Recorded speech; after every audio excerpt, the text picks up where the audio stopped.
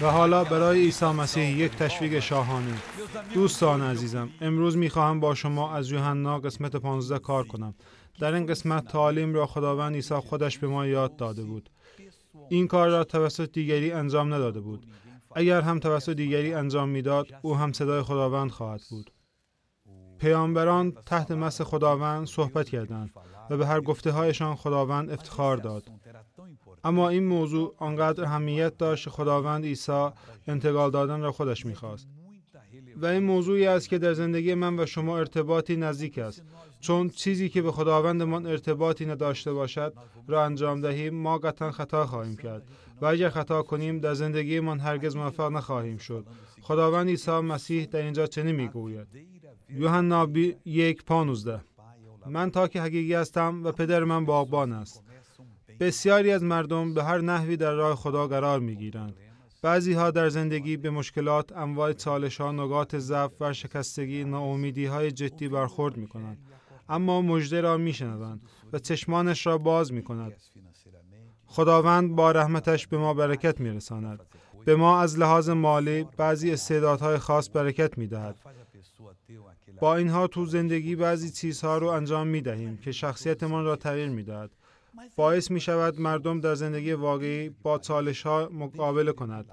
در تمام زمینه های زندگی به ما کمک می کند.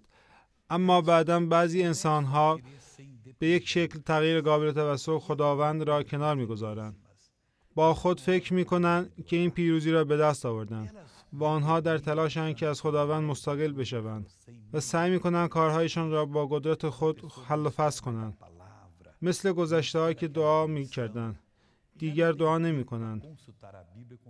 در تلاشند که بدون عیسی خداوند پیروزی را به دست آورند اما او می‌گوید که من نباشم هیچ کاری را نمی توانید انجام دهید اما آنها قدرت را در نوشته‌های کتاب مقدس جستجو نمی کنند صبر نمی کنند که خداوند راهنمایی کند و زمانی برای جستجوی نوشته های کتاب مقدس را ندارند. روزی که شما از کتاب مقدس چشم پوشی می کنید در مورد دوست داشتن کلام خداوند بحث نمی کنند در مورد تمایل به یادگیری چیزهای بیشتر از کتاب مقدس صحبت می کنند چون شکست از اینجا شروع می شود دشمن در این زمان ها شروع به کاشتن دانه در قلب زندگی تا می کند عیسی می‌گوید که من تاک هستم. من تاک و ریشه حقیقی هستم. هیچ کس هیچ انسانی هیچ فرد نخواهد شد و فقط یک تاک است. او می‌گوید که من تاک هستم. فقط یک تاک حقیقی است. او هم خداوند عیسی مسیح است. پدر او بابان است. عیسی باید خود شخصا از اقتدار پدر پیروی کند. اما عیسی تاک حقیقی است به دامه این را چنین توضیح می‌دهد. یوحنا دو پانوزده هر شاخهای در من که میوه نیاورد آن را دور می سازد. این یک کشتار جدی برای ماست. میوه می دهید؟ با ایمان داشتن به عیسی متولد میوه ها خواهید داد. خداوند به واسطه زندگی ایتان آیا چیزهایی را به شما یاد می دهد؟ نه دکتر سوارس شما در حال شکن شدن هستید. من هم در شاخه‌ای که میوه ندهد را بریده و دور می اندازم.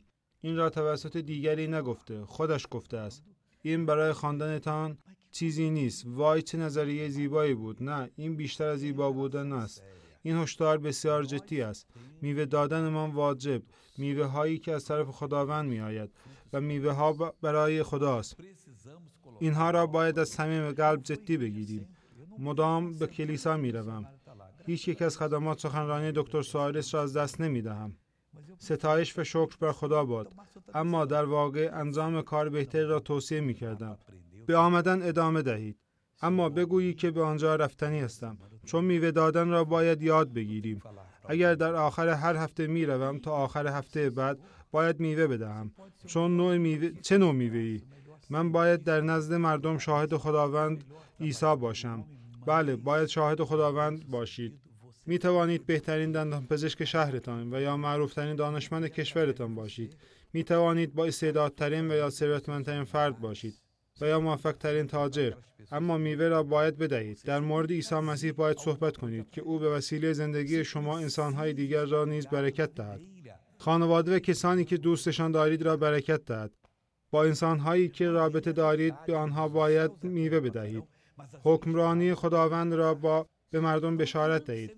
باید واقعا واقعا به تاک وابسته باشید. در غیر این صورت مثل شاخه های خشک قطع خواهید شد.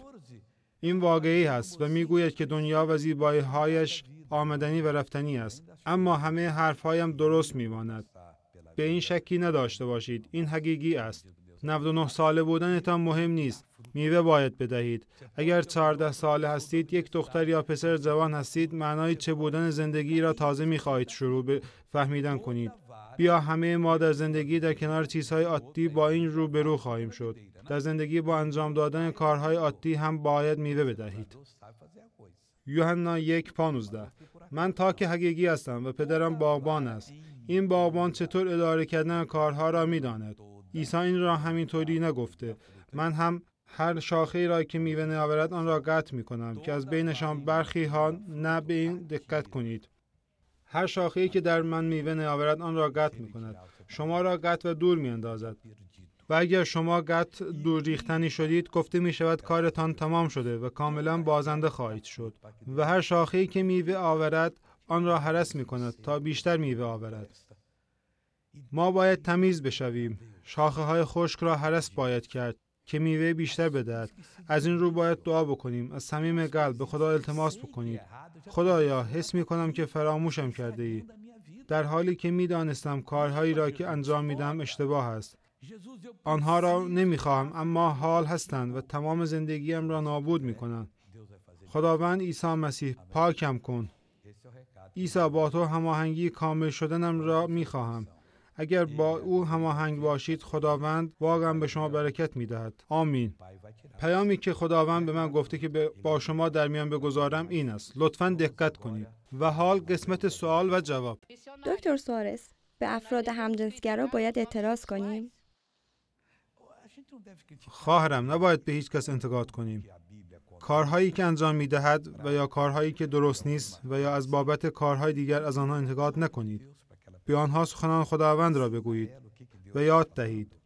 در هر زمان به آنها حکمت گفته های خود کتاب مقدس خداوند را یاد دهید. چون هر کی می‌خواهد باشد. مثلا تنها چیزی که انسان ها علاقه دارند کسب مادیات است. اما خداوند از طریق شما به آنها یاد می‌دهد. که در زندگی ارزش شما از پول بیشتر است و گفته های خداوند از کتاب مقدس را برای کسی که کارهای شرماور انجام می‌دهد ببرید و شما شرایط را فراهم کنید تا آنها کمی متوقف شوند و فکر کنند. راه من راه درستی نیست. در بیشتر زمان بیانیه ها می تواند ساده باشد. برخی اوقات خداوند می آید به قلبتان اصابت می کند بدون اینکه شما بدانید. کاری را انجام می دهید که انسان ها این را می فهمند کاری که انجام می دهید شاید کار خوبی نباشد و بعدا می فهمید که خدا شما را واسطه کرده و بعد از این کاری را که باید انجام دهیم انسانها را به درک کلام خداوند هدایت کنیم. با کسی که سیگار و یا الکل استفاده می کند بحث نکنید. کسی که روزی گفته های خداوند را می‌فهمد. یک بار دیگر اصلا استفاده نخواهد کرد. ابزار شیطانی را گفته و بعد نمی خواهم را خواهد گفت. اما با تکی به کدام پایه؟ چطور به دیگری مصرف نکردن الکل را توصیه بکنم؟ اگر که خود می نوشم حتی خیلی کم. یک انسان با تکیه به کدام پایه به دیگری گناه نکردن را می تواند بگوید. اگر او هم این را انجام می دهد و انجام دادن خیلی کمش را هم می گوید به عبارت دیگر بهترین کاری را که می توان انجام داد اجازه بدهیم تا خداوند با قلب آنها گفتگو کند. قلبتان را باز کنید.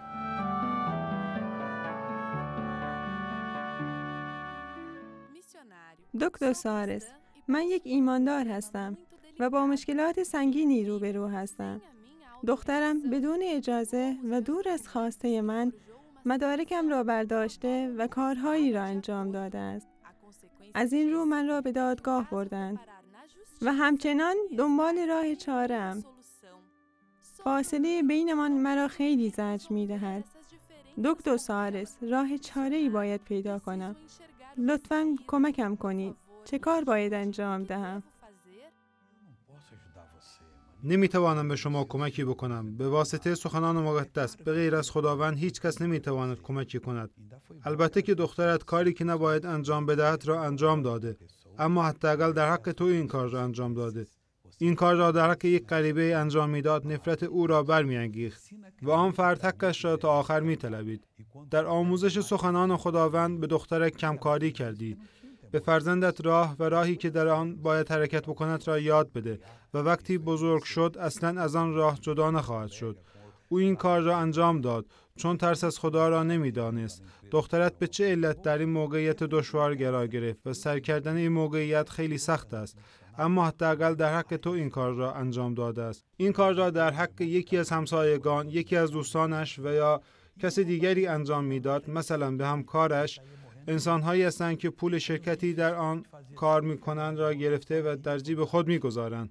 چون در در خانه خود این را یاد گرفتند.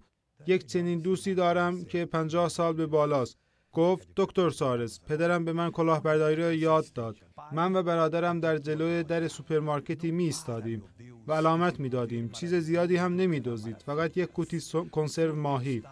به این دلیل به فرزندانمان راه درست را نشان بدهیم. حالا کجا بودنتان مهم نیست. پدر این برای متعالی بودنت. خدایا قدرت تو تمام نشدنی نیست. فقط شگفتی می آفرینی. شب روز با ما بودی. ما را محض کردی حمایتمان کردی قدرتمندمان کردی. پدر با تو معجزه ها و چیزهای شگفتانگیز را تجربه می کنیم خداوند عزیز در حال حاضر ایمانم با این مردها و زنها یکی می شود خدای عزیز در حال حاضر برای اعلان خوب شدنم ایمانم را با آنها یکی می کنم خواهرم و برادرم. حال ایمانم با ایمانتان تکمیل شد. همه سختی ها و بدی ها را فراری می دهم و ترک کردن همین مشکلات از زندگیتان را می خواهم بریم و اصلا برنگردیم. به نام خداوند عیسی مسیح. عیسی چه کرد؟ عیسی مرا شفا داد. برای دعا کردن ببین دستان تا اینطوری چقدر بلند بکنم چون واقعا درد الان می‌کرد. چطور؟ الان می‌توانم انجام بدم. پس برادرم خداوند از زندگی مرا تو چه شفا کرده؟ داد. ببین اینطور نمی‌تونستم بکنم. الان چطور؟ خیلی سخت بود. الان بهتر شدم. بازه بسته کردن دستم واقعا خیلی سخت است. دستت را نمی‌توانستی مش بکنی؟ نه. الان به چطور؟ لطف خدا حال می‌توانم. دستت را به طرف آسمان بلند بیشتر از کن. دو سال است که دستم را به این شکل نمی توانستم بلند چقدر کنم. می‌توانستی بلند, بلند کنی؟ کردن خیلی سخت است. حتی در موقع آب حتی خوردن در. موقع آب خوردن هم. خدایا شکرت. خوب شدم. 15 سال بود که این مشکل را داشتم. خواهرم به مدت هر دو 15 دستم. سال مجبور به بعضی از جراحی و آمپول ها بودم. خواهرم الان دستهایت را بلند کن. نگاه کنید مردم. خداوند معجزه ای را به واقعیت تبدیل کرد. تو دستم مشکل داشتم. نمی‌تونستم پس حالا بلند, بلند. کن برادرم. از تمامی دردهام خلاص قبلا شدم. دستانت را چقدر می‌توانستی بلند. کنی؟ به نام شکر بر عیسی بله. مسیح. در دستم التهاب تاندوم بود. قبلا چقدر می‌توانستی فقط تا دستت را. بلند موقع کنی؟ شانه زدن موهایم خیلی درد می‌کرد. پس الان چطور؟ الان می... اینطوری می‌توانم خواهرم این واقعا معرکه است. Mucizelere inanır mısınız? Há duas semanas eu estava sem trabalhar, estava indo para o hospital, voltando para casa com muita dor na coluna, escoliose. E Deus voltou minha coluna para o lugar agora. Graças a Deus. Que bonito. O que, é que você não podia fazer? Eu não podia fazer isso, ninguém aqui. Faz exercício agora aí. Pra frente agora. Sinto mais Vai nada. lá embaixo. Aí, pessoal. Acabou. Ê, Jesus. Televizyon kameralarının göz önünde bu mucize gerçekleşiyor. 40 yıldır binlerce kişi, on binlerce kişi Doktor Suarez'e koşuyor. Dua ediyorlar. Rabbin gücüyle şifa buluyorlar. Mucize buluyorlar. Ve milyonlarca kişi buna şahit oluyor. Doktor Suarez'le mucizeler gerçekleşiyor. Rab gücünü gösteriyor. Buna siz de sahip olabilirsiniz. Gelin ve izleyin. Gelin mucizenizi alın.